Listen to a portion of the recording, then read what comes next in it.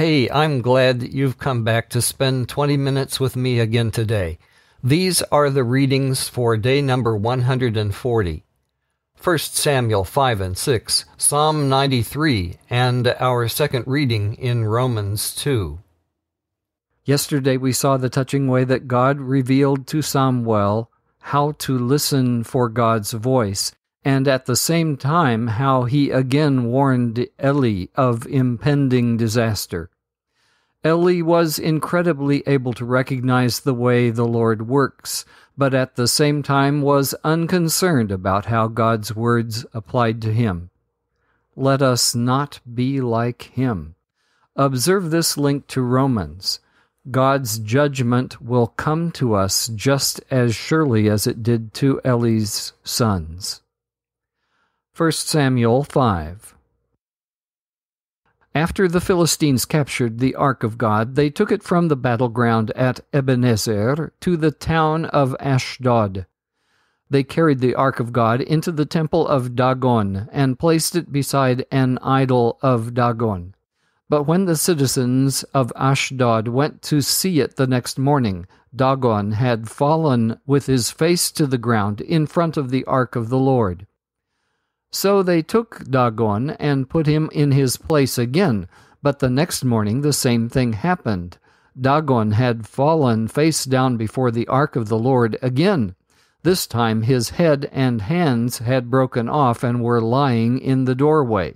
Only the trunk of his body was left intact. That is why to this day neither the priests of Dagon or anyone who enters the temple of Dagon in Ashdod will step on its threshold. Then the Lord's heavy hand struck the people of Ashdod and the nearby villages with a plague of tumors. When the people realized what was happening, they cried out, We can't keep the ark of the God of Israel here any longer. He is against us we will all be destroyed along with Dagon, our God. So they called together the rulers of the Philistine towns and asked them, What should we do with the ark of the God of Israel? The rulers discussed it and replied, Move it down the road to Gath. So they moved the ark of the God of Israel to Gath. But when the ark arrived at Gath, the Lord's heavy hand fell on its men, young and old. He struck them with a plague of tumors, and there was a great panic. So they sent the ark of God to the town of Ekron. But when the people of Ekron saw it coming, they cried out, They are bringing the ark of the God of Israel here to kill us too. The people summoned the Philistine rulers again and begged them, Please send the ark of the God of Israel back to its own country, or it will kill us all. For the deadly plague from God had already begun, and great fear was sweeping across the town. Those who didn't die were afflicted with tumors, and the cry from the town rose to heaven. 1 Samuel 6 the ark of the Lord remained in Philistine territory seven months in all.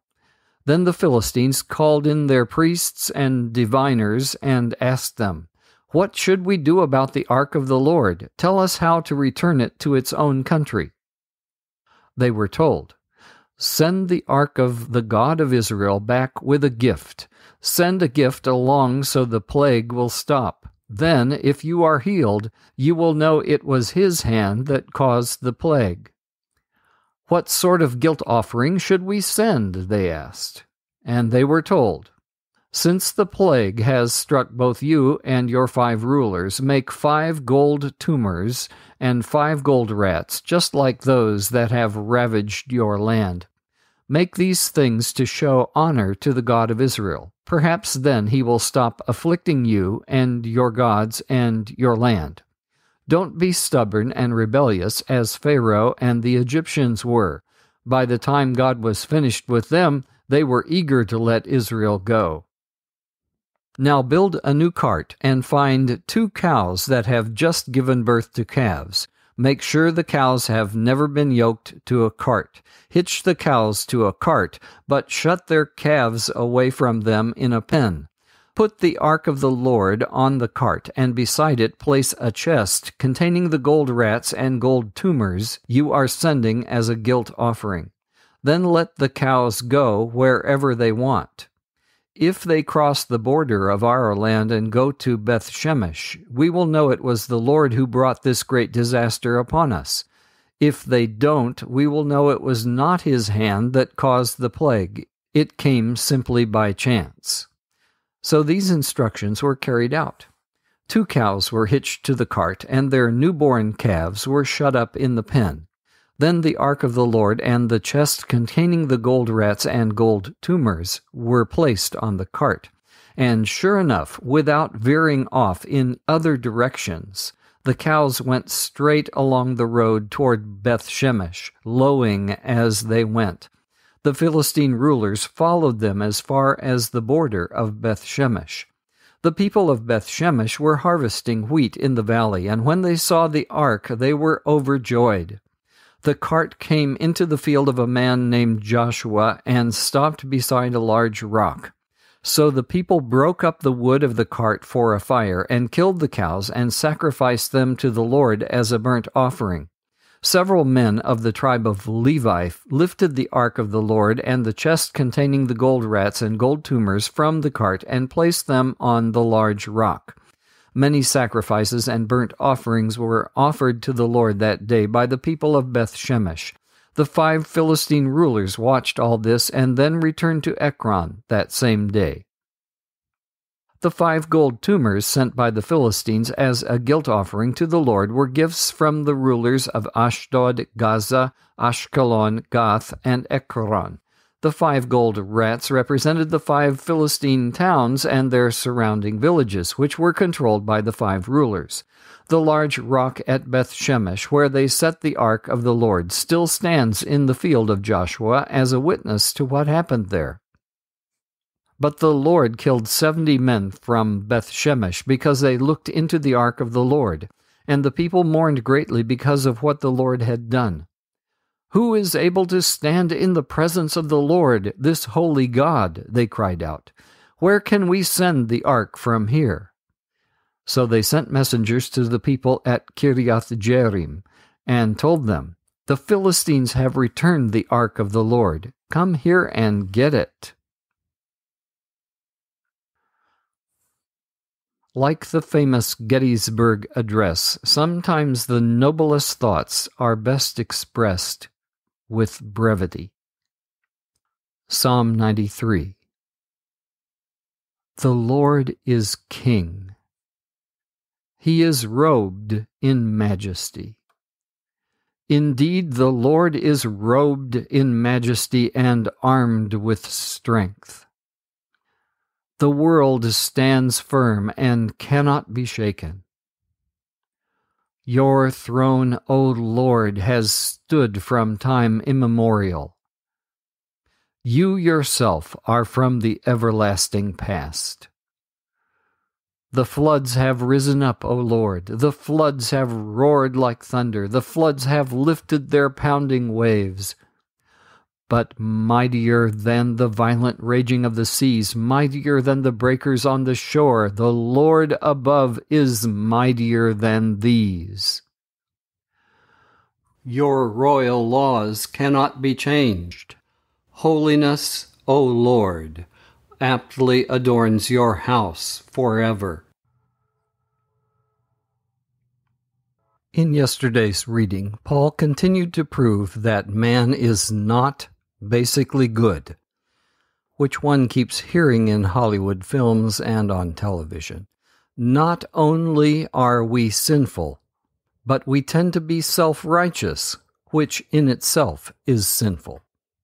The bad news is compounded in these additional points. A day of anger is coming when God's righteous judgment will be revealed there will be trouble and calamity for everyone who keeps on doing what is evil, especially for Jews, but also for the non Jews. Romans 2. You may think you can condemn such people, but you are just as bad and you have no excuse. When you say they are wicked and should be punished, you are condemning yourself, for you who judge others do these very same things. And we know that God, in his justice, will punish anyone who does such things.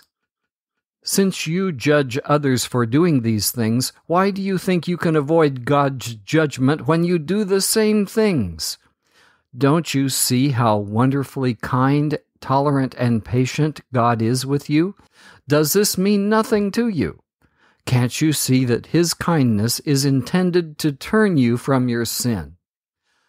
But because you are stubborn and refuse to turn from your sin, you are storing up terrible punishment for yourself. For a day of anger is coming, when God's righteous judgment will be revealed.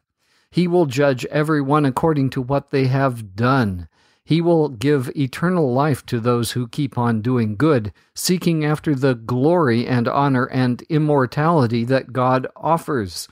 But he will pour out his anger and wrath on those who live for themselves, who refuse to obey the truth and instead live lives of wickedness. There will be trouble and calamity for everyone who keeps on doing what is evil, especially for the Jews, but also for the non Jews. But there will be glory and honor and peace from God for all who do good, especially for the Jews, but also for the non Jews. For God does not show favoritism. So people who already know the law and break it are just the same as those who have never heard about the law and commit sin. Sinners who don't know the law will be destroyed, Similarly, people who already know the law and commit sin will be judged according to the law. For merely listening to the law doesn't make us right with God. It is obeying the law that makes us right in His sight. Even non Jews who do not have God's written law show that they know His law when they instinctively obey it, even without having heard it. They demonstrate that God's law is written in their hearts, for their own conscience and thoughts either accuse them or tell them that they are doing right. And this is the message I proclaim that the day is coming when God, through Christ Jesus, will judge everyone's secret life. You who call yourselves Jews are relying on God's law, and you boast about your special relationship with Him. You know what He wants, you know what is right because you have been taught by his law. You are convinced that you are a guide for the blind and a light for people who are lost in darkness. You think you can instruct the ignorant and teach children the ways of God. For you are so certain that God's law gives you complete knowledge and truth. Well, then, if you teach others, why don't you teach yourself? You tell others not to steal, but do you steal? You say it is wrong to commit adultery, but do you commit adultery? You condemn idolatry, but do you use items stolen from pagan temples? You are so proud of knowing the law, but you dishonor God by breaking it. No wonder the scriptures say, the non Jews blaspheme the name of God because of you. The Jewish ceremony of circumcision has value only if you obey God's law. But if you don't obey God's law, you are no better off than the uncircumcised non Jews. And if the non Jews obey God's law, won't God declare them to be his own people? In fact, uncircumcised non Jews who keep God's law will condemn you, Jews who are circumcised and possess God's law but don't obey it.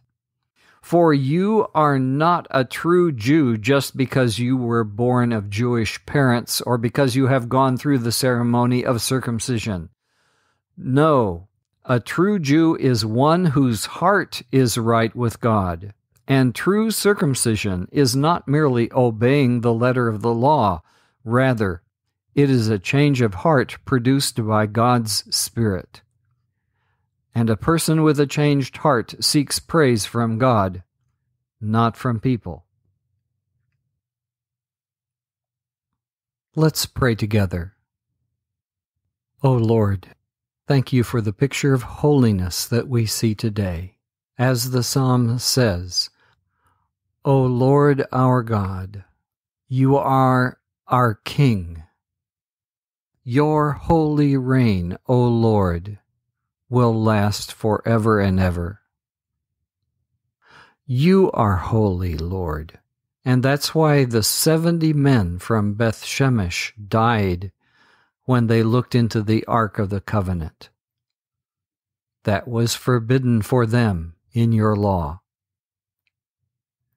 O Lord, yes, they were circumcised, but their circumcision was of no value because they broke your law. And we, circumcised or uncircumcised, male or female, are all alike in this one thing. We are sinners, and we all need a Savior. Lord, in another place, you speak about circumcised hearts, and that is the change of life that you give to believers to people who fully believe in Christ Jesus. So, Lord, we pray that you would give us changed hearts, circumcised hearts, that we might live according to your Spirit and glorify Christ Jesus.